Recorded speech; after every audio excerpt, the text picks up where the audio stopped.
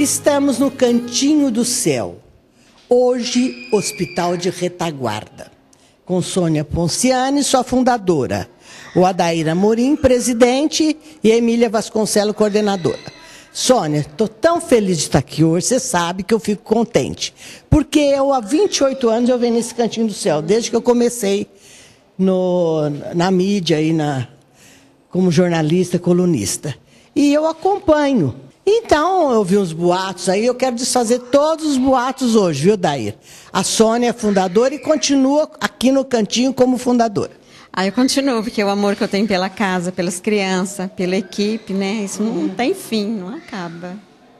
E o Adair é presidente, como toda instituição, você foi eleito para três anos. Corretamente. Três anos de mandato. E tem uma novidade agora, que eu falei Hospital de Retaguarda. Isso, nós estamos passando por um processo de transformação é, para o Hospital de Retaguarda. Tá? Então, a nova nomenclatura é Cantinho do Céu, Hospital de Retaguarda, e não é mais Lar dos Excepcionais como anteriormente. Esse processo está em desenvolvimento, tá? É, nós temos um ano para nos adequarmos. Desse um ano já se, já se foram três meses, mas está correndo tudo bem, graças a Deus. E como vai funcionar esse hospital de retaguarda, Emília? Então, a partir de agora, nós estamos fazendo as mudanças na questão documental. Né? Nós vamos receber um CNES e, através desse CNES, nós vamos conseguir fazer ah, os convênios com o SUS, com a, com a municipalidade e agora sim como saúde, não mais como assistência social. E nessas mudanças todas, né, a vigilância veio aqui, nós estamos sendo acompanhados pelo promotor Luiz Henrique Pacanhela. Nós vamos fazer uma adequação no espaço físico, né, que foi indicado pela, pela vigilância sanitária e nós vamos ter que fazer contratações para a gente adequar o nosso quadro de funcionários à saúde. Então, vai ser um hospital mesmo, vocês estão profissionalizando. Vai ter uma portaria, o pessoal só vai entrar com crachá. Isso todas as normas que a vigilância exige de um hospital. Nós não vamos mudar muito o que nós já fazíamos, né? Nós vamos continuar com o mesmo número de leitos, nós vamos só fazer essa adequação, porque na realidade nós não somos, assim, o nosso maior objeto não é assistência social, e sim saúde. E os casos aqui são reversíveis. Vocês também vão ajudar as crianças de outro hospital, que, por exemplo, fica ocupando um leito lá, aí vem para cá. Se é, nós, nós, nós tratamos de paralisia cerebral, né? É, se, se tiver enquadrado nesse quadro e se nós tivermos disponibilidade, sim.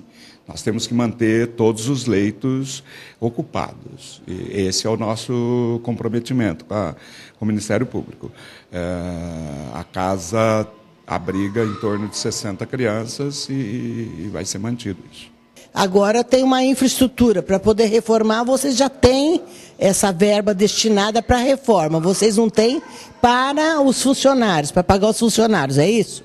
É, a gente está assim preocupada numa parte, mas os profissionais estão chegando, né, devagar, está contratando um a um, sabe? Conhecer também. Só que a gente tem certeza na qualidade de vida das crianças que vai melhorar, que são profissionais mesmo da área, sabe?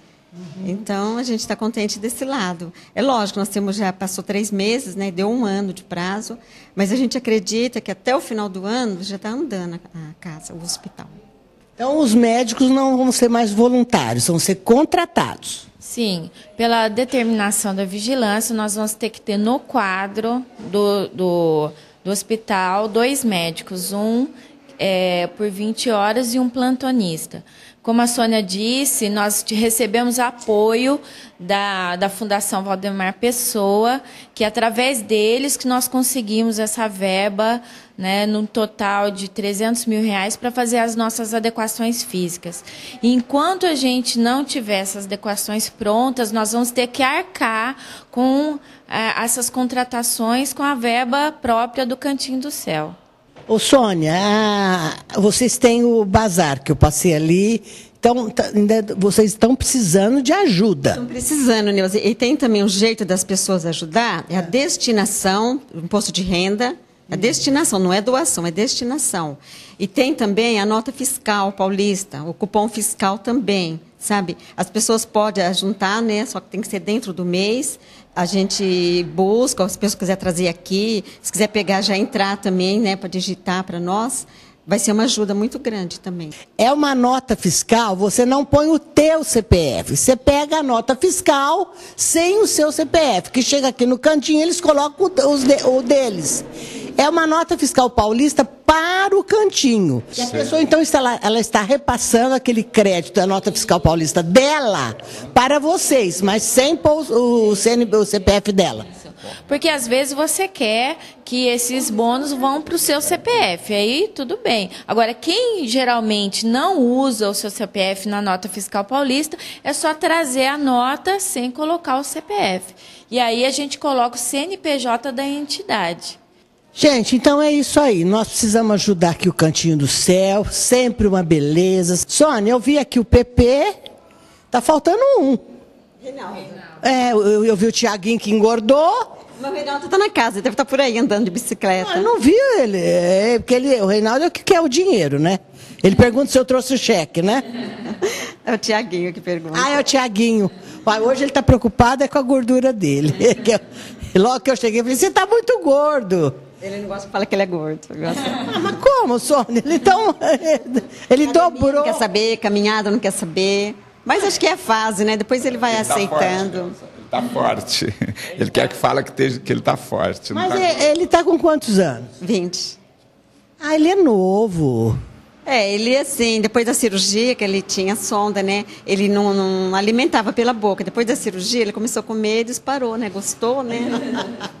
E eu já vi a princesa ali, que linda, né? Linda, nossa. Ela também é a luz da casa, a estrela daqui.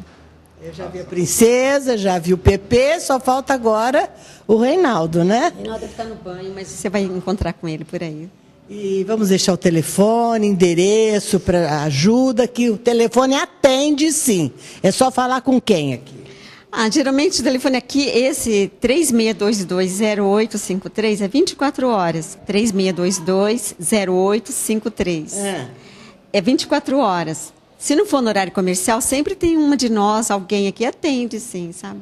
Só tem um pouquinho de paciência. Mais alguma coisa, Dair? Não, é, eu quero te agradecer, é, porque sempre vocês são sempre bem-vindos na casa, né? E deixou tudo esclarecido, mais claro, né? E que eu estou sempre à disposição. Tá? Eu sou voluntária aqui, eterna. Gostei de você, que está sabendo de tudo, tá? Está fazendo a casa caminhar, graças a A Deus. Sônia faz a parte dela do coração, você faz a da cabeça. É verdade. E assim, o último recado, depois você mostra ali a nossa caixinha. Se algum lojista quiser levar a, sua a nossa caixinha para colocar lá perto do caixa, para receber as notinhas e depois a gente recolhe, é só ligar aqui também. Ó, a nossa caixinha está ali. E aí o lojista também quiser contribuir, né, a gente aceita. E o, o endereço, você já falou o endereço, né? Ah, o endereço é Rio Verde, 357, Ipiranga, né? Mesmo, mesmo endereço de sempre, né? E eh, as pessoas devem continuar visitando, participando. Que o cantinho chegou até aqui é com todos, todos participando, sabe? Direto, indiretamente, mas participam. E isso é muito bom para casa. Você tá com a carinha melhor da outra vez, viu, Sônia? Ai, Deus, obrigada, bem, tá?